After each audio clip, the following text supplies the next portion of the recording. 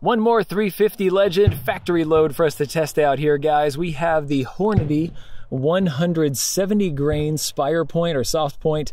Uh, this is one that it's going to pack a pretty good wallop, I think. We're going to see if this expands like some of the others did and some of the others didn't. Uh, we're going to find out here in the ballistics gel. So we're going to hit this at 100 yards and 200 yards. And the reason that we can hit pretty accurately at those distances is because of this.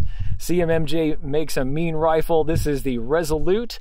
It's just a carbine length, and yeah, this sucker is accurate, wonderful rifle. And on top, the scope is a, um, a TS6X from US Optics. Uh, this is a really sweet little FFP optic up top here. And uh, let's get down here and go see what we can do.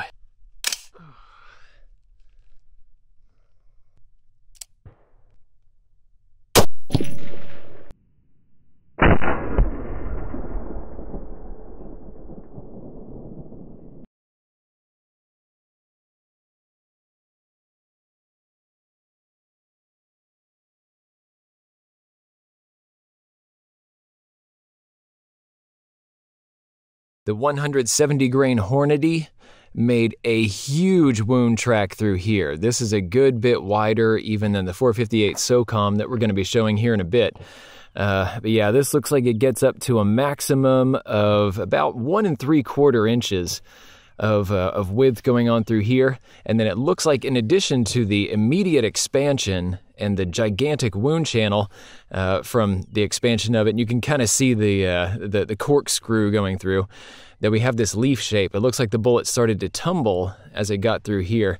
And it's cutting all the way out to 16 inches, continuing to cut out to maybe about oh 20 inches or so before it really kind of settles down, goes up, and I was afraid we were going to lose this one, but it's actually in the sand, so hopefully we'll be able to pick out that projectile. Great news, y'all. Yes, the bullet went through 32 inches of gel, but then it stopped immediately in the sandbag, and you can actually see a little bit of the copper poking out right there. We're going to dig this bullet out right now and see what it looks like.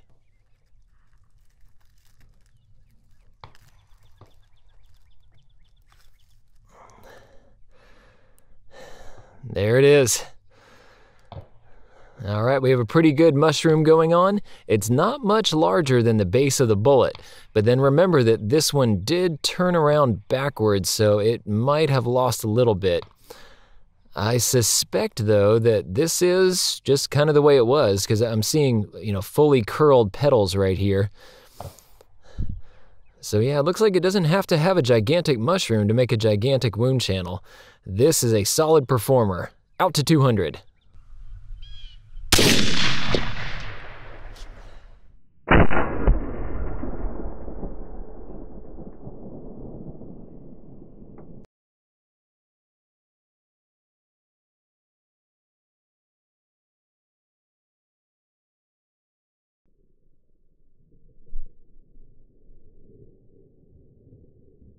At 200 yards, the Hornady isn't bringing quite as much heat as it used to. This one isn't flaring out quite as much as before. We're getting about one inch across uh, on this channel, and then it just continues to cut all the way back through here through the, uh, the first block, and then it cuts out the side right here on the second block. I think this would have had no trouble cruising through all 32 inches of gel. This does have some pretty devastating sections though. Look at this one right here. As it tumbles through this section, we're getting about a two inch wide uh, cut through there. And you can see from some of the footage where the, uh, the temporary wound channel was looking pretty good. Much like the Winchester soft point, I think this is one that's going to carry a lot of energy through some of your larger game while providing a, a pretty good hit on the inside and tearing things up. We're going to recover this from the bag and see what we got. The 170 grain Hornady, as you can see, has mushroomed and created some pretty wicked cutting petals. So we're looking at a maximum width, okay, about 3.385, 0.380, somewhere in there. Let's see how much retained uh, weight we have. 168.4. So of the 170 grains, we just lost a tiny bit of copper, maybe a tiny bit of lead and that's about it. This has held together very well, and as you can see, those wound channels were looking pretty good. This 200 yard hit actually seems to have opened up more than the 100, which is a little bit odd.